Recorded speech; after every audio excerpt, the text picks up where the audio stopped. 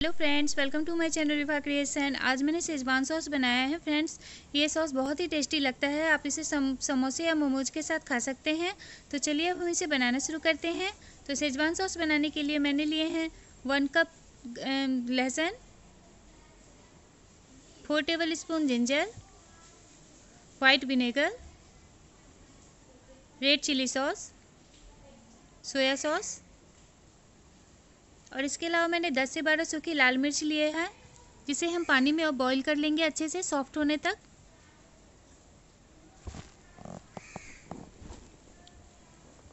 तो मैंने एक बर्तन में पानी गर्म होने के लिए रख दिया है गैस ऑन करके। अब इसमें सारे मिर्ची के डंठल निकाल कर हम इसे गर्म बॉईल होने के देंगे पाँच मिनट के लिए। जब ये सॉफ्ट हो जाएगा, फिर हम इसे निकाल लेंगे पानी में से। फ्रेंड्स, अगर आप इसके जगह तीखे वाली लाल मिर्च का भी यूज़ कर सकते हैं अगर आपको तीखा ज़्यादा पसंद है तो? तो देखिए, हमारे मिर्ची में अच्छे से उबाल आ चुका है और ये सॉफ्ट भी हो चुका है। अब हम इसे एक बर्तन में ठंडे पानी में पाँच मिनट के लिए ठंडा होने के लिए रख देंगे। जब ये अच्छे से ठंडा हो जाएगा, फिर हम इसे मिक्सी में पीस कर इसका पेस्ट बना लेंगे। फ्रेंड्स, मैंने कढ़ाई में टू टेबल स्पून ऑयल डाला है। रिफाइंड ऑयल का यूज़ किया है मैंने। अब मैं इसमें कद्दूकस किया हुआ गार्लिक डाल दे रही हूँ। फ्रेंड्स, इसे ज़्यादा नहीं पकाना है हमें, ज़्यादा फ्राई नहीं करना है, बस इसका कच्चापन हटाना है हमें। ये ज़्यादा पकेगा तो फिर इसका टेस्ट ख़राब हो सकता है हमारे सेजवान सॉस का, इसलिए ये चीज़ ध्यान में रखना है कि इसे ज़्यादा हमें फ्राई नहीं करना है।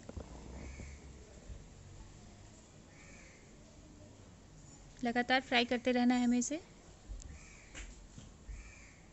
कलर इसका बिल्कुल चेंज नहीं होना चाहिए, बिल्कुल ब्राउनिश नहीं होना चाहिए ये।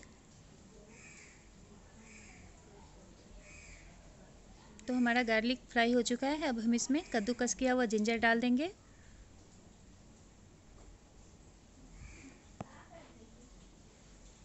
और अब इसे अच्छे से फ्राई कर लेना है हमें।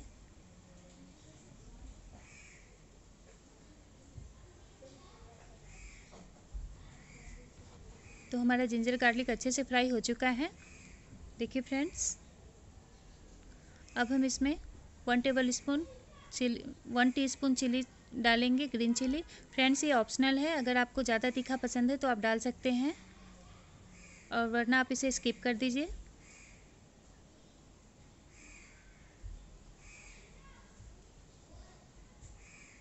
अब इसमें one tablespoon soya sauce डालना है हमें।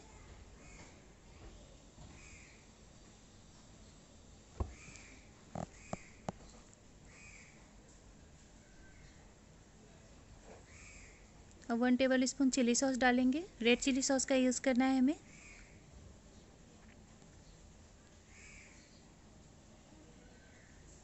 यकीन मानिए फ्रेंड्स, बहुत ही टेस्टी बनता है ये चटनी। और मोमोज के साथ तो बहुत ही टेस्टी लगता है खाने में, बहुत ही स्वादिष्ट।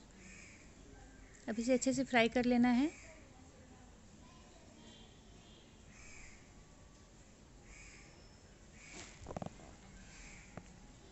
अब इसमें वन टेबल स्पून विनेगर डालना है।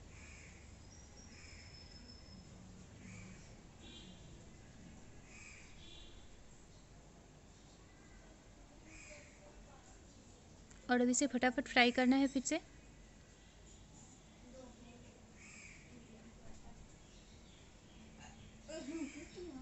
अब इसमें जो चिली पेस्ट है वो मैं इसमें डाल दे रही हूँ और इसे तेल छोड़ने तक हमें पकाना है इसे।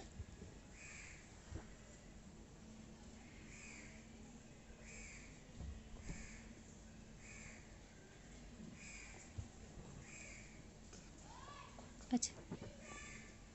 अच्छे से फ्राई करना है इसे। मैंने वन टेबल स्पून नमक डाला है इसमें। फ्रेंड्स नमक का मात्रा अपने स्वादानुसार ही रखिएगा क्योंकि सॉस में भी नमक का मात्रा रहता है तो ये ज़्यादा नमकीन हो सकता है, इसलिए आप स्वादानुसार नमक डालें। अब इसे अच्छे से फ्राई कर लेना है। तो देखिए, हमारा जो सेजवान सॉस है, उसने अच्छे से तेल छोड़ दिया है, और अच्छे से फ्राई हो चुका है फ्रेंड्स ये।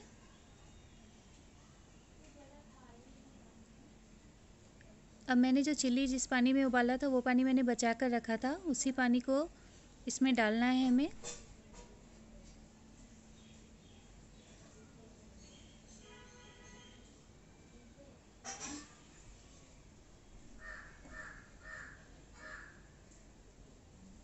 देखिए, इसमें से तेल अलग अलग दिखने लगा है। अब हम इसमें पानी डाल देंगे।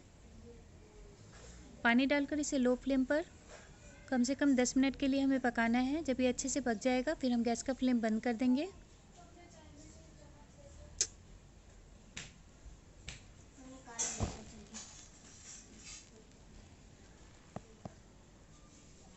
तो देखिए, हमारे सेजवान सॉस में अच्छे से उबाल आ चुका है।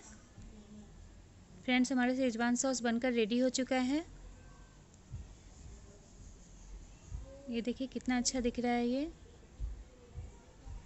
फ्रेंड्स अगर आपको मेरी सेजवान सॉस की रेसिपी अच्छी लगी हो तो प्लीज़ आप मेरे चैनल को लाइक और सब्सक्राइब कर दीजिएगा।